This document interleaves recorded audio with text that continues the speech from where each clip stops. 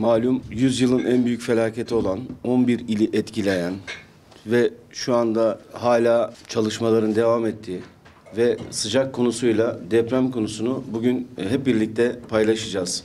Bizim Yapı Denetim ve Deprem Mühendisliği Bursa Şubesi olarak ve genel merkezimiz olarak sahada 34 günlük çalışmalarımız ve bu çalışmalarımızın raporları, bu binalar nasıl ne şekilde yıkıldığıyla ilgili gerçek bakanlığın da onayladığı, STK'ların da onayladığı gerçek raporları sizinle paylaşacağım. Tabii burada depremin oluş şekli her şekilde bunları da konuşacağız. Malum bir yapı denetim firması sahibiyim. Bu yapı denetimli binaların bu zamana kadar yapı denetime güvenin var. Bundan sonra olup olmadığıyla da ilgili.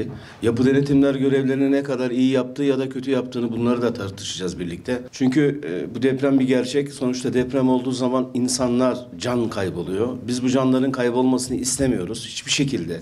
Hiçbir sebep, hiçbir maddi gelir bu insanların canlarının kaybının bir telafisi olamaz bizde. En azından biz sistemi etik olarak böyle görüyoruz. Deprem bizde bende özellikle iki da iki tane hatıra bıraktı. 99 depreminde yaşayan, bizzat e, Gölcük'te olan, yine bu depremde de Diyarbakır'da bir e, psikolojik olarak bende etkisini bıraktı. İki e, yara olarak da bacağımda bir yara bıraktı. Bunu unutmam mümkün değil. Çünkü yaşadım, yaşamaya da devam ediyorum hala. Biz bu toplantıda insanların bir şekilde en küçük bir şekilde de bilinçlenmesi bizim için en önemlisi. Yapı denetim sistemi ikiye ayrılır. Bir proje denetlemesi, yapılan projelerin denetlenmesi. İkincisi de binanın yapı kullanma, iskan alana kadar olan üretimini denetlemektir. Yıllara göre son 100 yıl içerisinde olan deprem şiddetleri ve bölgeleri var. Bu deprem şiddetlerinin içerisinde en sıcak olan Van, Elazığ, Malatya, İzmir, Düzce depremi. Bu depremlerde de yapı denetime tabi binalar sıfır yıkılması. Ama bunun da bir nedeni var. Bunun nedeni yapı denetime tabi olan binaların olduğu yerde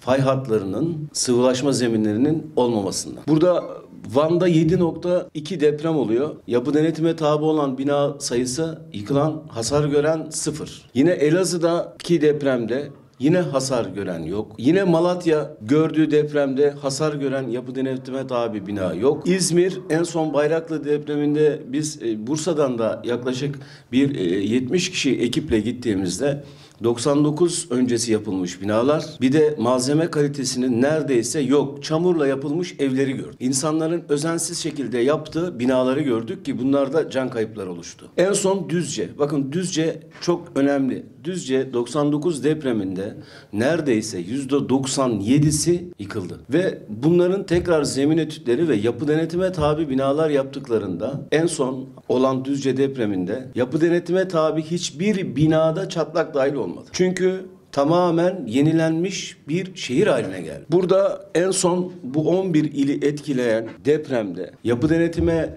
2000 bir yılında tabi olan Adana yapı denetime tabi bina sıfır. Hasar gören de dahil. Ondan sonra Diyarbakır sıfır. Elazığ sıfır. Şanlıurfa sıfır. Osmaniye, Kilis sıfır. En büyük yıkımların olduğu yerler Gaziantep, Hatay, Nurdağı. Depremin yüksek illerinden yazdığımızda biz de Bursa olarak da deprem birinci sınıf deprem bölgelerinin içerisindeyiz. Tarihimizdeki en son deprem 1855 yılında oldu. Bu depremin şu anda 11 ili etkileyen depremle alakalı da bir benzerliği var. Nedir benzerliği? Ee, 11 ili etkileyen depremde gece 14-17'de olan 7.7'lik bir depremin arkasından saat 1.30'da yani e, 6.2 artçı oldu ama o eş değerde yıkımda öğlen olan ikinci deprem. Bursa'da da 1855 yılında 28 Şubat'ta olup 7.7 yaklaşık 8 bin ahşap ya da o dönemdeki evlerden yıkıp 150 tane kişi insanımızın ölmesi. Aradan 28 gün geçtikten sonra 7.2 ile 3 bin insanımızı kaybetmemiz. Yerleşim alanlarının insan hayatı için, mal ve can güvenliği için çok çok önemli olduğunu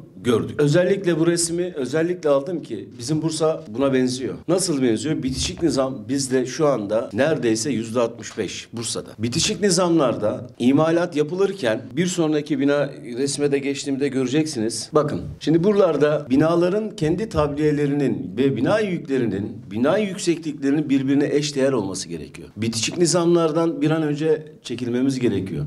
Çünkü farklı kodda farklı şekilde imalatlar işte bir binanın yüksek olması bir binanın alçak olması. Bu çekiç etkisiyle bakın ortadaki binayı yıkmış. Bu binanın şu andaki alt tabiyesiyle bu binanın tabiyesi birbirine eş değer olması gerek. Eğer biz bu eş değeri olmazsak binanın hangi bina güçlüyse güçsüz olanı. Ama biz her zaman da şunu söylüyoruz. Ayrık nizam bitişik nizamdan daha iyi. Çünkü biz artık bitişik nizam imalatlardan ülke olarak vazgeçmemiz gerekiyor. Bu Malatya'nın e, 2019 yıl- yılında 2009 yılındaki e, imar haritası ve 2023 yılındaki son haritası. Yani aradan 14 yıl geçmiş.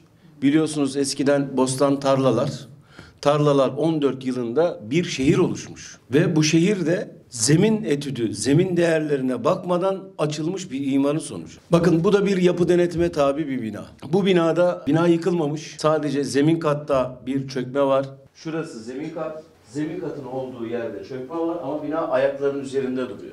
Bunun nedeni ne? Bunun nedeni işte hep bizim Bursa'da da konuştuğumuz zemin sıvılaşması. Çünkü zemin sıvılaşması binanın ya olduğu yerde kırılmasına ya da sağına soluna yatmasına sebebiyet veriyor. 2021 yılında çıkan hani hep medyada çıkıyor ya binalar kaderine terk edilmemesi gerekiyor. Binalar denetlenmesi gerekiyor. Yapı kullanma aldıktan sonra işte en üstteki kişinin aşağıda e, dükkan sahibinin kolon kesip kesmediğiyle ilgili işte bir şekilde yaptırım olması gerekiyor. Evet 2021 yılında bina kimlik sistemi diye bir sistem çıkarttı bakanlık. Ve bu bina kimlik sisteminde artık bu binalar mevcut binalardaki asansörler her yıl denetlediği gibi bunlar da 5 yılda bir binalar denetlenecek. 2021 yılının 8. ayından itibaren yapı kullanma alan bütün binalar tabi hale geldi. Artık binalar kaderine terk edilmeyecek. Biz şu anda birinci sınıf deprem bölgesindeysek, birinci sınıf deprem bölgesinde olan olayların en az yüzde sekseni bir gün bizim karşımıza gelecek. Bunun önlemlerini almak zorundayız. Şehirleşmek anlamında almak zorundayız. Binaları yenilemek anlamında almak zorundayız. Kentsel dönüşümü bir an önce arttırmamız gerekiyor.